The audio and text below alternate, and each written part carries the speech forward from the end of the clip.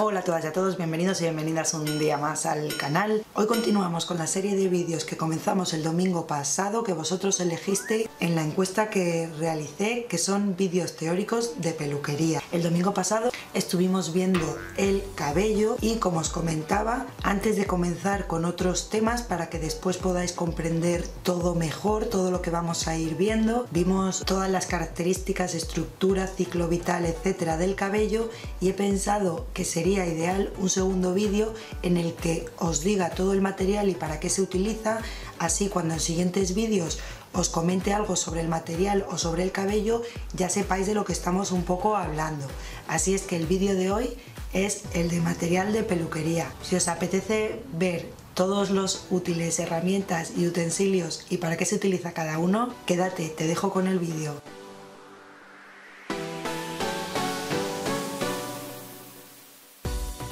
Bueno, antes que nada quiero recordaros que todo lo que voy a comentar hoy aquí, todo lo que vamos a todo lo que voy a hablar, lo que vamos a ver, os lo podéis descargar gratis en un dossier para poder consultarlo cuando queráis. Para ello tenéis que ir a www.sandranewlook.com, registraros si es que no estáis registrados y tendréis acceso a todos los enlaces para poder descargaros los dosieres. Y ahora sí vamos a comenzar. Bueno, dentro del material de peluquería hay muchísimo material.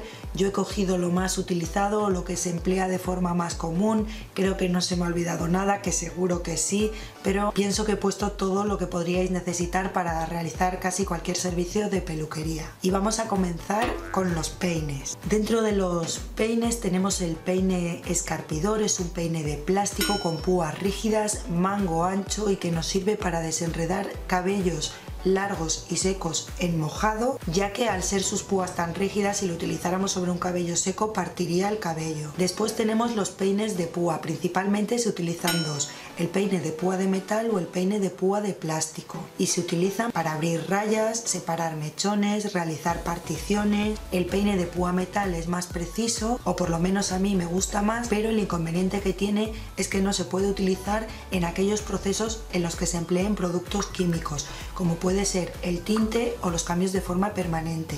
Es decir, no, la púa al ser de hierro no puede entrar en contacto con estos productos. Por eso, en estas operaciones se utiliza el peine de púa de plástico. En ambos casos también existen unos peines de púa que tienen unas púas más largas y otras más cortas que se van intercalando y en el caso que los encontremos así, estos se utilizan principalmente para la realización de cardados. Otro peine muy utilizado es el peine de corte, que es un peine recto que posee en uno de sus lados púas más separadas, en otro más juntas, los tenemos de diferentes colores, suele estar fabricado en plástico duro y se emplea para la realización de cortes o para la realización de ondas. También lo podemos encontrar con la longitud de las púas degradadas, es decir, de más cortas a más largas. Luego uno similar al peine de púa de corte, pero que en sus extremos tiene cinco púas horizontales o bien metálicas o bien de plástico, es el peine de cinco púas y este se utiliza para peinar y pulir los cardados. Luego tenemos el peine tenedor que es fabricado en plástico, sus púas son rígidas, largas y no tiene muchas y se utiliza principalmente para desenredar cabellos muy rizados. Un peine un poco más novedoso, que no quiere decir que sea muy actual, esto ya tiene años, pero es más novedoso que estos últimos que os he dicho, es el peine pinza. La parte superior es un peine y la parte de abajo tiene como un agujero en el que se introduce el peine para actuar a modo de pinza sujetando así el cabello. Se utiliza principalmente cuando realizamos planchados para evitar quemarnos los dedos al planchar el cabello y cogerlo. El pelo aún está caliente y nos podemos quemar. Para evitarlo se utiliza este peine. Una vez vistos los peines más generales, luego hay muchos más de diferentes colores, texturas y cada vez más porque las casas comerciales van sacando más productos pero estos son como los básicos. Entonces ahora pasamos con los cepillos. Un cepillo que me habéis visto utilizar y que me gusta muchísimo es el peine plano rectangular. Puede ser de madera o estar fabricado en otros materiales.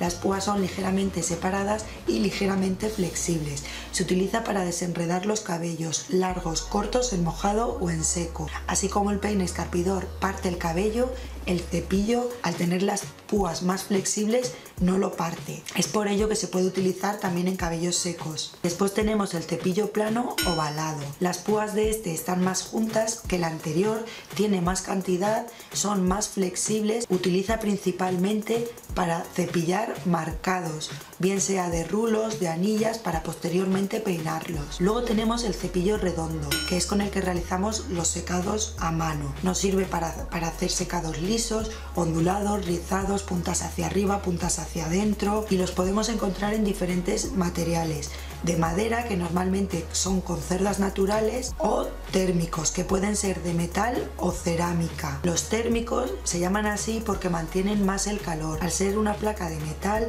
esta se calienta y hace que el secado sea más fácil aunque maltrate un poquito más el cabello. Y pasamos con el cepillo de recogidos que se trata de un peine fabricado también en plástico. Es un peine muy estrecho. En el mango al final se acentúa la estrechez. Así nos sirve también para la realización de particiones, tiene bastantes púas y son muy flexibles y como su propio nombre indica nos sirve para realizar peinados y recogidos. Otro cepillo más actual es el Tangle Teaser, no sé si lo estoy pronunciando bien, por ahí dejaré el nombre, yo no los he probado pero supuestamente se pusieron así muy de moda porque eh, desenredaban súper bien el cabello sin apenas estirones. Si lo habéis probado dejadme en los comentarios qué tal os va este cepillo y al igual que el cepillo rectangular o el peine escarpidor sirve para desenredar. Después tenemos el esqueleto, es un cepillo fabricado de plástico, tiene las púas separadas y bastante rígidas y se emplea para hacer secados a mano pero que no requieran ser demasiado trabajados, como puede ser el caso de que un hombre viene a cortarse el pelo y después se lo queremos secar así como más por encima, sin necesidad de pulirlo o trabajarlo tanto, se emplearía este tipo de cepillos. Y hasta aquí los cepillos más básicos que tenemos. Ahora vamos a pasar con los moldes. Dentro de los moldes vamos a ver los rulos y dentro de los rulos existen diferentes tipos de rulos. Tenemos el rulo de plástico común de toda la vida, luego tenemos los rulos de malla o franceses, que es como si fuera un muelle forrado de malla y en el interior lleva como un cepillo redondo para que se quede bien adherido el cabello. Luego tenemos los rulos de velcro que están fabricados de velcro y se quedan directamente sujetos al cabello y los rulos calientes. Existen dos tipos, los más antiguos contienen una sustancia en su interior que mantienen el calor. Se metían a cocer en una cazuela o en una olla y cuando estaban calientes se colocaban sobre cabello seco. Actualmente existen unos aparatos en los que se introducen los rulos y ya salen calientes del aparato. Que de esto tengo pensado también hacer un vídeo, a ver si no se me olvida, me lo anotaré. Después tenemos los bigudís que se utilizan para los, para los cambios de forma permanente. Están los bigudís de plástico y los bigudís de madera. Estos los encontramos con diferentes diámetros y longitudes. Los bigudís de plástico vienen con diferentes colores y cada color va supliendo al siguiente. Por ejemplo, el más pequeño es el verde y blanco, pues el siguiente tamaño lleva blanco y rosa. El siguiente rosa y amarillo. Amarillo y rojo, rojo y azul, azul y gris y gris y negro, que sería el más ancho.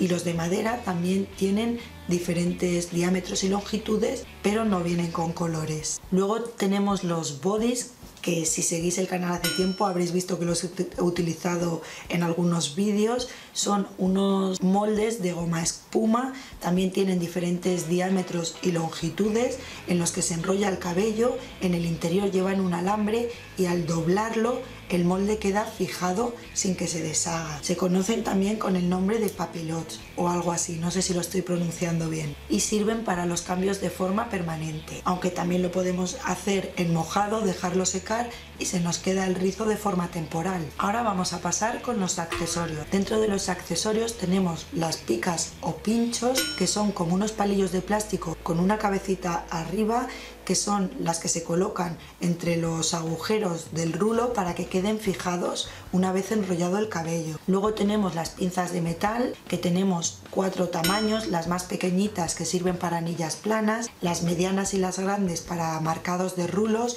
y otras más grandes con forma curva que son las que se utilizan para, para marcar las ondas al agua. No sé si os habréis fijado, pero me estoy quedando ya sin voz. Espero que se oiga bien. Luego también tenemos las pinzas de plástico que existen también también en diferentes formas y tamaños. Principalmente se utilizan para sujetar mechones y para sujetar particiones que nos sirven para que podamos realizar de forma más organizada el trabajo. También tenemos el pulverizador, que es un envase que tiene un dosificador que esparce o dosifica el agua en forma de fina lluvia. Dentro del pitorrito por donde expulsa el agua se puede ajustar para que el agua salga en un chorro más directo o más en forma de pulverización y nos sirve para humedecer el cabello cuando se nos seca o para añadir alguna sustancia líquida. También tenemos las placas de rizantes que son unas placas de plástico que vienen en diferentes longitudes y se utilizan para los cambios de forma permanente pero en este caso para realizar los alisados. En uno de sus extremos lleva como si fuera la forma de un rulito pequeño que es la que se coloca en la raíz para dar volumen en esta durante el tiempo de exposición del derrizante para que el cabello no quede totalmente aplastado. Luego tenemos los palitos separadores que son similares a los palitos que utilizamos en las máquinas expendedoras de café, que son unos palitos de plástico que se introducen por las gomas de los bigudís para que durante el tiempo de exposición del líquido de permanente la, goma no se quede marcada en el cabello. Luego tenemos los gorros de mechas que existen los de silicona, los de goma y los de plástico desechables.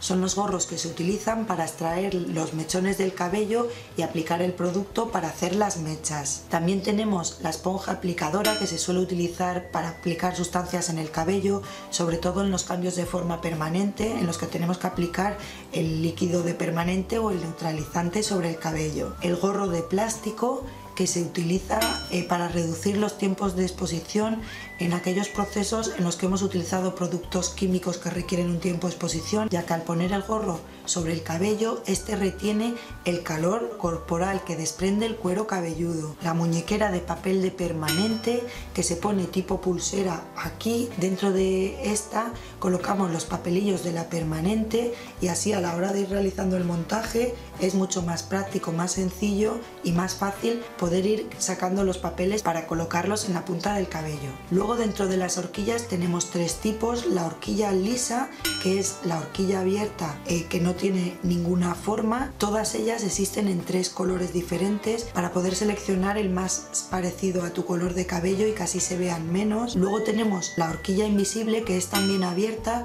pero en su parte central viene rizada. Estas dan más sujeción a los recogidos que las otras, porque las otras sin querer se van resbalando. Y por último tenemos la horquilla de clip, que es la que viene cerrada y también puede ser rizada o lisa. La redecilla, que es como una red hecha de tela con unos orificios que se utilizan los diferentes marcados cuando los ponemos a secar o bien en el secador de casco o bien al aire o con cualquier tipo de secador para evitar que se despeine durante el secado. La paletina existen más anchas, más estrechas y son las que utilizamos para aplicar sobre todo los productos colorantes como pueden ser los tintes o las decoloraciones. El bol que nos sirve para contener y mezclar sustancias. El bol es donde preparamos los líquidos de la permanente, eh, los tintes, las decoloraciones y también donde mezclamos los productos. Luego tenemos la probeta o báscula. La probeta nos sirve para medir las diferentes cantidades que tenemos que mezclar y la báscula para pesarlas. El espejo de mano que principalmente sirve para cuando has finalizado el peinado, colocas de espaldas al espejo del tocador y con el espejo de mano podemos ver cómo ha quedado el peinado por la parte posterior. El secador de mano que sirve para realizar eh, secados, es decir, la técnica del brushing, contiene diferentes accesorios como pueden ser las boquillas para trabajar pelos lisos o hacer puntas hacia afuera, hacia adentro, ondulados o el difusor que es el que se utiliza para hacer cabellos rizados. Luego tenemos el secador de casco que sirve para secar marcados y como me imagino que no todos dispongamos de esto en casa, también tenemos el gorro térmico que también me habéis visto utilizar en algún vídeo, es un gorro que se acopla a la cabeza mediante una goma con cordón y lleva como un tubo que se incorpora al secador, a la boquilla del secador, por ahí va saliendo el aire y así va secando el marcado o lo que queramos secar. Luego tenemos las tenacillas, estas hay una gran variedad en cuanto a diámetros, formas, materiales con las que se fabrican, pero su utilidad es rizar, ondular o hacer tirabuzones en el cabello, todos ellos en sus diferentes diámetros. Luego tenemos la plancha que hace muchos años solo se utilizaba para alisar, pero actualmente sabéis que se utiliza también para ondular o hacer tirabuzones en el cabello. Dentro de las planchas encontramos algunas que las placas no las tienen lisas, sino que tienen alguna forma, como pueden ser las crimper, que se utilizan para hacer como el pelo en zigzag, así tipo afro. Otro de los aparatos que utilizamos es la máquina de corte, principalmente se utiliza para realizar corte de caballero y también actualmente hay una gran variedad de, de máquinas de este tipo. Por último, en cuanto a la aparatología que utilizamos, tenemos el germicida, que es un aparato que emite radiación ultravioleta para que podamos desinfectar todos los útiles y accesorios de peluquería. Pasamos al punto 6 que sería la lencería que se utiliza en peluquería y tenemos las toallas medianas de rizo que las utilizamos para cubrir la ropa y protegerla o cuando hemos realizado el lavado del cabello para retirar la humedad. Luego tenemos la capa de corte o el peinador que se utiliza principalmente también para proteger la ropa, evitar que caigan productos, sustancias, cabellos o restos de pelo que hemos cortado. El delantal plástico que sirve para proteger la ropa de la persona que está realizando el proceso cuando utilizamos por ejemplo tintes o decoloraciones que pueden manchar nuestra ropa. Se trata de un delantal impermeable que evita que las sustancias que utilicemos manchen nuestra ropa. En cuanto a los útiles de corte tenemos la tijera recta que es la que tiene las dos hojas lisas y se emplea en la mayoría de los cortes. Luego tenemos las tijeras de entresacar, que son las que tienen tanto la hoja de arriba de la tijera como la de abajo dentadas. De estas existen algunas que tienen los dientes más anchos o más estrechos, o sea que también existe gran variedad de este tipo de tijeras. Y por último las tijeras de esculpir, que son las que tienen una de sus hojas rectas y la otra dentada. Lo mismo, estos dientes de, de una de sus partes pueden ser más anchos o más estrechos. Cuanto más anchos sean los dientes, tanto las anteriores como estas, más cabello cortarán y se suelen utilizar para vaciar, degradar o dar volúmenes en algunas zonas. Y la tijera recta se puede utilizar un poco para todo, ya que se puede utilizar para cortes rectos, para desfilados, para vaciar, en función de cómo se utilice. Luego tenemos las navajas. Tenemos la navaja de doble filo o de hoja entera que utiliza una cuchilla que tiene hoja de corte por los dos lados. La de media hoja que, o medio filo que es un poco más profesional y puede ser de un cuerpo o dos cuerpos.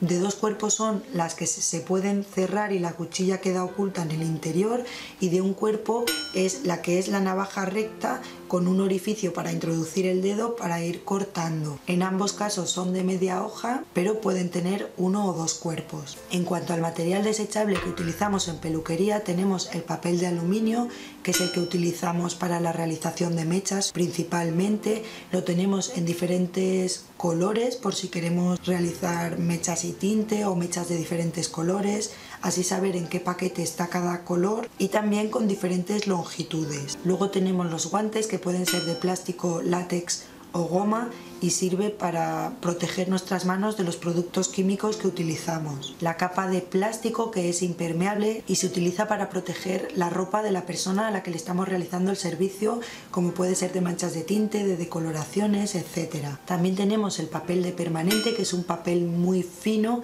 que se utiliza en los cambios de forma permanente, en las que enrollamos el cabello con molde, se coloca en la punta para evitar que ésta se doble durante el proceso, ya que si queda doblada luego puede incluso partirse el cabello. Algodón, que lo utilizamos para diferentes cosas, como puede ser aplicar productos, proteger contornos para que algún cosmético no chorree hacia la cara, para retirar los restos de tinte, etc. Luego tenemos las cuchillas, que son para las diferentes navajas. La misma cuchilla sirve para todas, ya que se puede partir por la mitad y colocarla en las que tienen medio filo o utilizarla entera en las de doble filo. En todos los casos, siempre que utilicemos una navaja con una cuchilla, se tiene que cambiar para cada corte. Bueno, y con esto finaliza eh, todo el material que he encontrado lo he metido aquí, espero que no se me olvide nada. En el dossier os dejo también un enlace a una web que en realidad es una tienda, pero viene como una presentación en el que podéis ver todos estos productos que yo os he explicado en sus diferentes versiones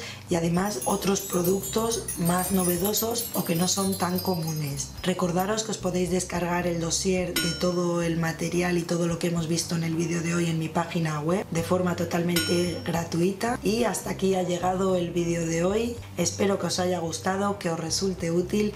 Muchas gracias por acompañarme un día más. Recordaros que todos los martes vamos a tener vídeos teóricos de peluquería y yo sin más me despido, pero nos vemos muy pronto mañana miércoles con un nuevo vídeo. Hasta luego.